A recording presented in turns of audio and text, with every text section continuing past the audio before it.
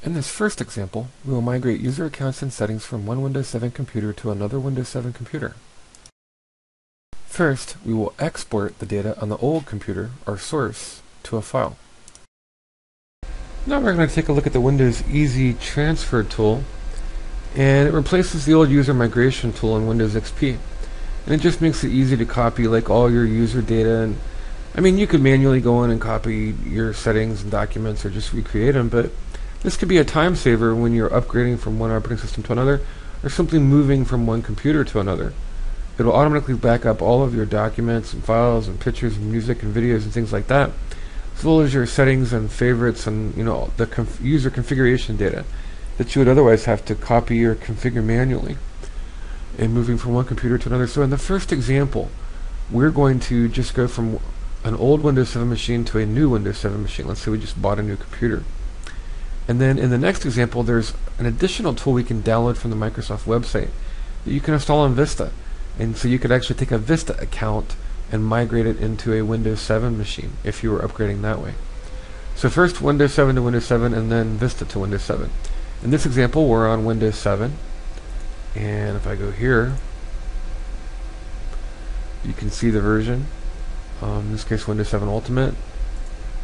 And we are logged in as the user Starbuck.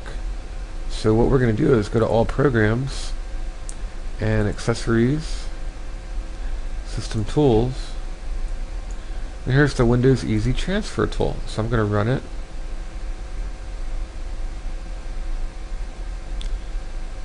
And this could be terabytes of data if I had a big hard drive and lots of data. But this is a account that I just created. So it'll be small and that's good so it won't take so long. Now you're presented with two choices here. Is it your new or your old computer? If you're on the old computer and you're doing the making the backup, you choose old computer. Then later when you're on the new computer and you're importing, you'd say new. So old computer is equal to export and new computer is equal to import. Don't know why they didn't title it that, but so old computer because I want to export or back things up. And it will go through and it'll scan all the items um, you know on your computer.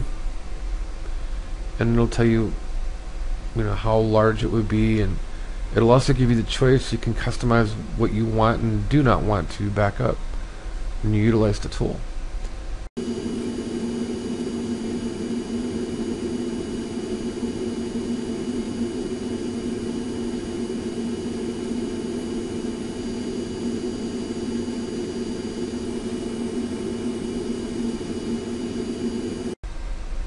Alright, it's finished uh, scanning Starbuck.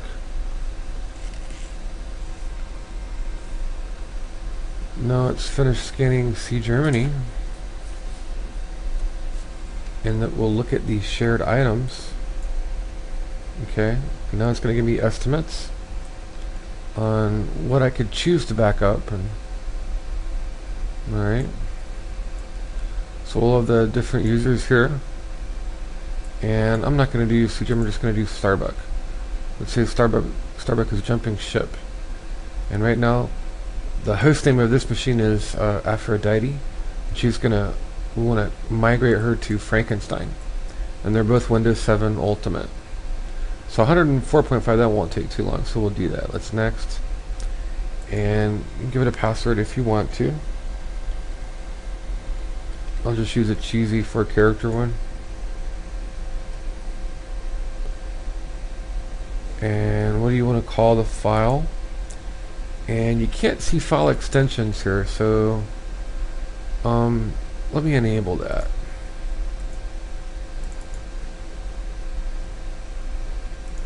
I swear. Why Windows chooses that by default it's annoying. I mean I don't know why anybody wouldn't want to see their file extensions and have all these files hidden from them and you know whatever I guess some people are of that opinion, this makes it a lot easier to, um, so here's my password. There, now you can see it's got a dot .mig extension. So it's going to save that file, and I'm just going to throw it in a folder here. We'll have a folder, and we'll call it backup. Backup. I'm just going to name this Starbuck.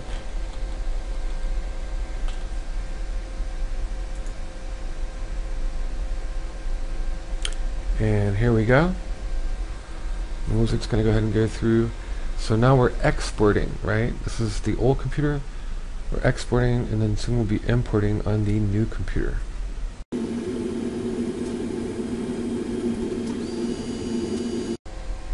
now we're just backing up the shared items that we have left.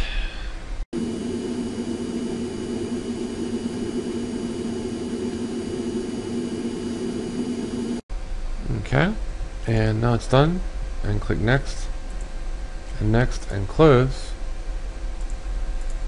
And we're done with the export process now, or that is the backup, that part of the migration. So again, if I were to go into this backup folder, you'd see it's compressed. So it's about 160 meg compressed down to about half that size. 76 meg, and there's starbuck.mig or MIG from migration. Short for migration. So I'm going to share this directory out.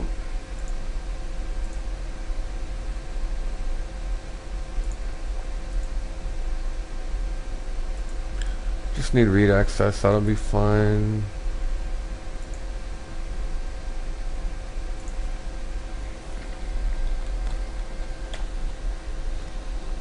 Notice, you know, my host name Aphrodite. and we're just going to test it. We'll type in the host name.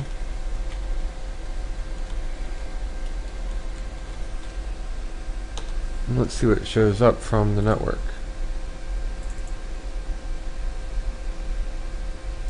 Alright, so there and there's Starbuck MIG, so it shows up from the network.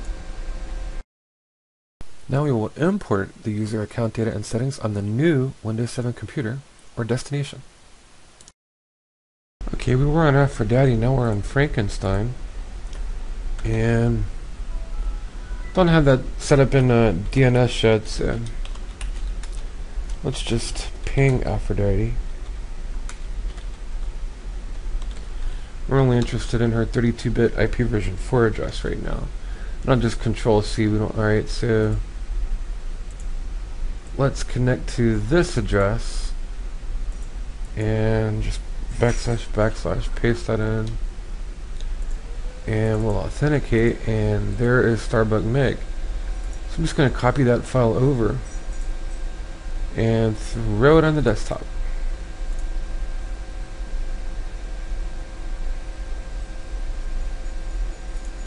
And I could also import it from across the network if I wanted just to show you there's that file right so if I wanted to import that user from my old Windows 7 machine to my new Windows 7 machine.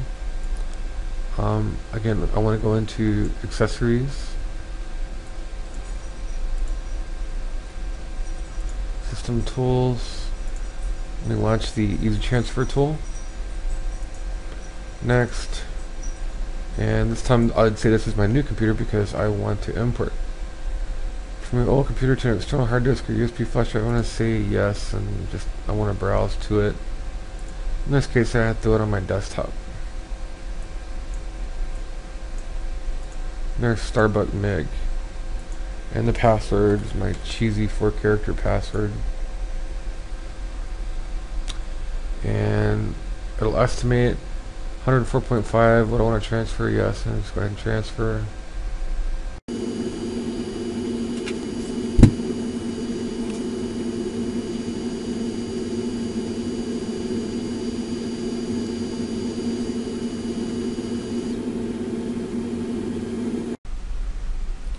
Okay, and now the import of Starbuck is complete. And now, you know, again, this is not all the applications and things. It's not like doing a complete image like you would with, you know, Linux or Pendrive Linux's Clonezilla or Ghost.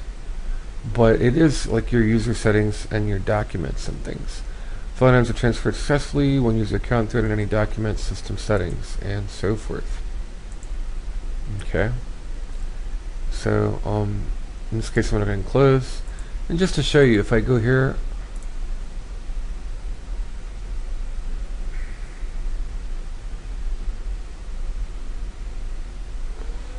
and pull this over here and local users and users.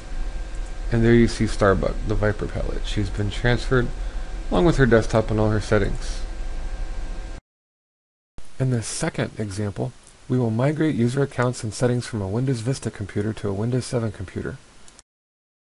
First, we will export the data on the old Vista computer or source to a file. In this example, uh, we're in Vista, or Vista, and let's create a user here. So, again, this is a business edition.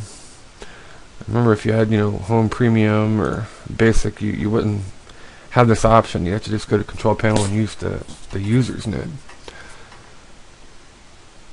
But here in Business Edition, you can right click, go Manage. We're going to make uh, another user account.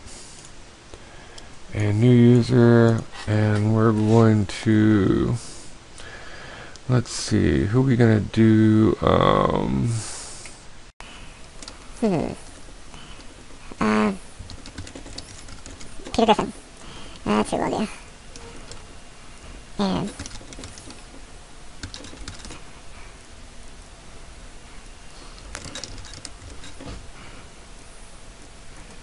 Alright, so I have a Peter Griffin here. And I'm going to log out and log in to just to you know build his desktop. That'll go ahead and create the folder and build his desktop and everything.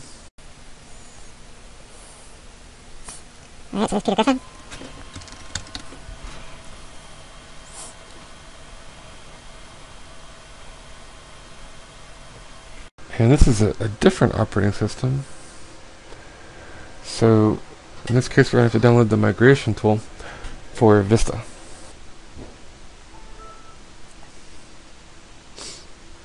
Okay, so now we are logged in as Peter Griffin. And I'm going to go to all programs and notice if I go to accessories and system tools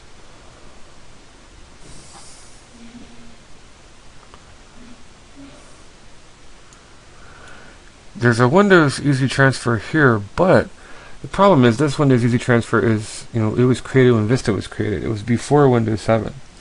So if I want to transfer or migrate Peter Griffin from Vista to Windows 7, I have to upgrade that. I have to install another app. So let's go here.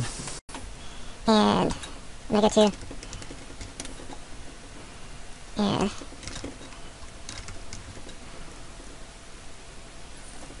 I'm go to Windows Software.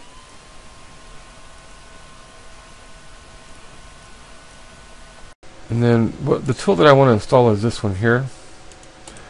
And you can Google for it, but it's Windows 6.0-KB928635-x86.msu. But again, in my profile, I haven't. Uh, I have to set up the ability to view file extensions, so you could see that. All right. Well, I guess I'll go ahead and do that. So if I did that, here, here, here, here, here, here, and here.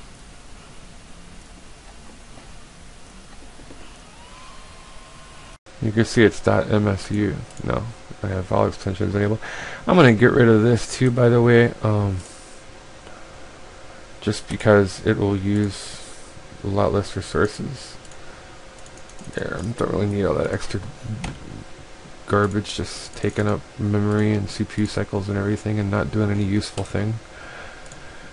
Alright, so let's go ahead and do this and we just want to upgrade it. So remember you just Google for this, you need to download it from Microsoft's website. I'm trying to remember what my own password was. And it was no password. Okay. Click OK to install the following Windows software update. Update for Windows. In this case, I'm going to say yeah. And again, the idea is to update Vista, which was created before Windows 7, so that its easy transfer tool can will be capable of then uh, migrating a user account settings and documents and, and you know user objects from Vista to a later operating system, Windows 7. So this makes it upwards compatible with Windows 7. If if not, If I were to use the Easy Transfer tool in Vista as it is without, you know, upgrading it with this file that you must download, then it would only work from Vista to Vista. It wouldn't work from Vista to Windows 7. So it's, it's being updated, being installed, and again, the file is Windows 6.0-KB9 28635-x86.msc. You can look for it on the Microsoft website, but probably the easiest thing to do is just to Google it. That's how I found it. I Googled the file name and download, and look for the Microsoft TechNet, you know, link on Google.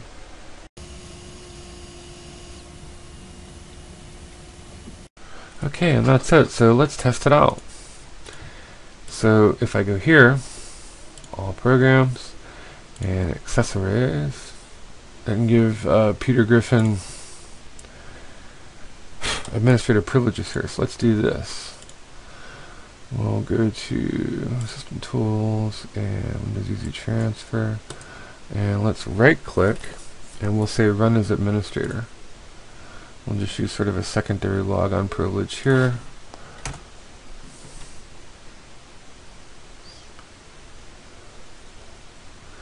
Alright, so Windows Easy Transfer, next. And then what I want to do is start a new transfer, continue a transfer in progress. In this case, I need to export. So, which computer are you using now? On my old computer, because this is where I want to export. The transfer cable in this case, I want to use removable media. Oops, didn't mean to skip a page here, but what I want to do is CD or DVD, USB flash drive, external hard disk, or network location. That's what I want to do, network location. And we're just going to call this Peter Griffin.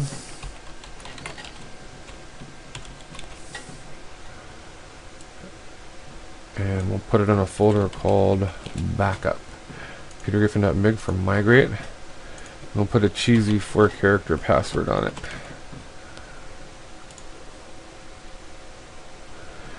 And then what do I want to do? All user accounts, files and settings, my user account, files and settings only, or advanced options. In this case, I'm going to choose my account.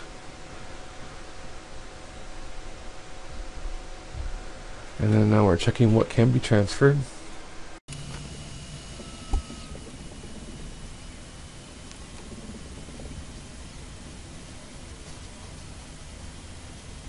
Alright. So in this case, we can choose. Um, we want C Germany?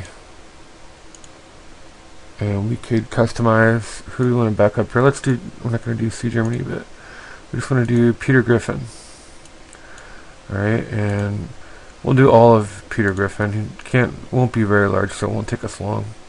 Notice I could add files and drives and things if I want, but I'm just going to go with the default his application settings, Windows settings, and documents. So 70 megabytes is the transfer size. And we'll go ahead and do this for Peter Griffin.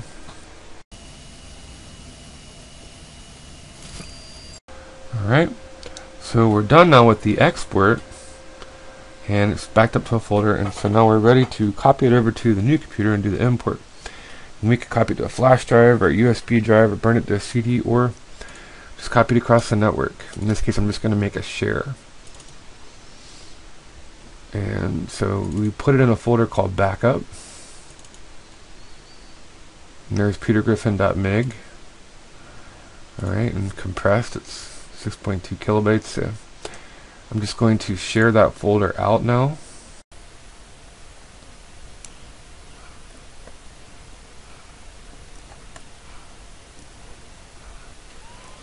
Yeah, sharing.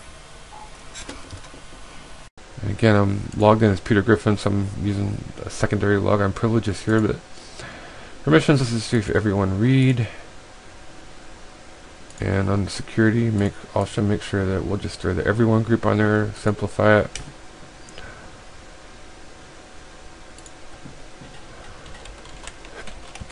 Give them read.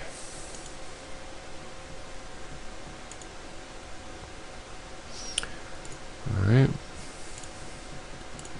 And let's see what our host name is.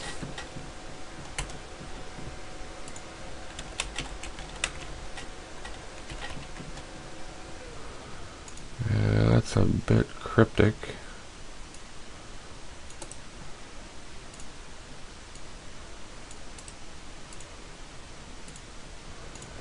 But just to check our path,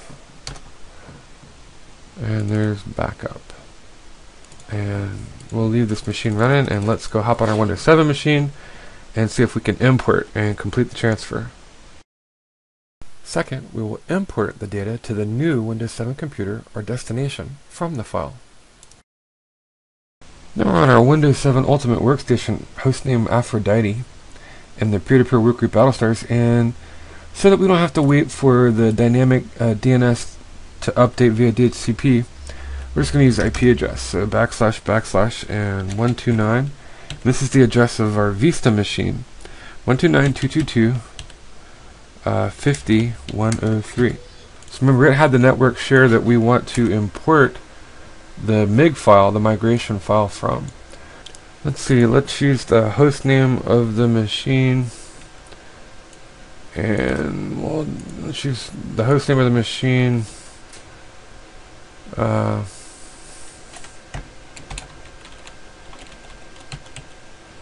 only account I can remember. I think we just had a simple four character password. Or maybe it was an eight character. There we go. That's an eight character password. Can't even remember. Alright, so we're on the Windows 7 Ultimate machine. We're connecting to the Vista machine. This is a machine that we exported. And there's petergriffin.mig. Let's just copy that over. So this was exported on Vista, so we had to upgrade Vista to Service Pack 1, and then we had to install the tool. Exported on Vista, and we're going to import it in Windows 7. Made possible because of using the update in Vista that was provided by Microsoft. And let me go here to System Tools and Windows Easy Transfer. And we'll launch the wizard.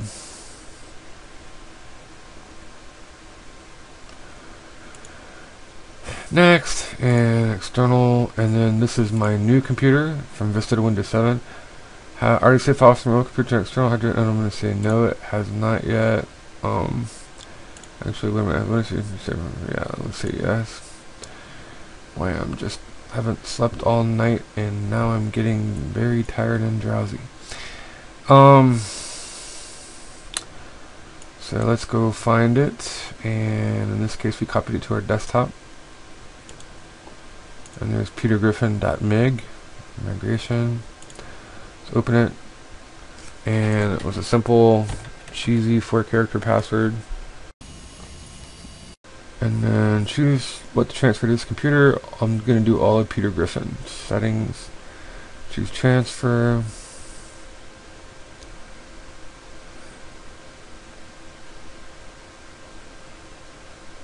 Should have done one for Brian and Stewie too.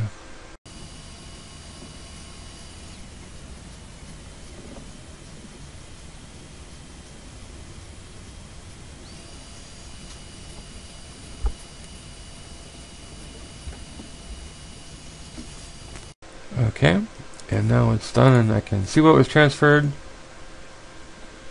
27 documents, the user account, program, and system settings, and the date, and click close. And when I do, notice if I go here and right click and manage, and I'm going to go to the user and group management snap-in, and you'll see Peter Griffin's account there now. He's been migrated from Vista to Windows 7 via an easy transfer upgrade in Vista to make it compatible with Windows 7. There's Peter Griffin right there. Let's take just a peek at the Windows 7 Easy Transfer tool's predecessor, which was the old Windows XP Files and Settings Transfer Wizard. And this is Windows uh, XP Professional Service Pack 3. And just to show you, it too had a, you know, a transfer tool, but it was an easy transfer. If I would go to System Tools, it was the File and Settings Transfer Wizard but it would let you do something similar. You could pick old computer, new computer. So this is the old computer. I could back something up. Um, you know, user account that I have installed on here.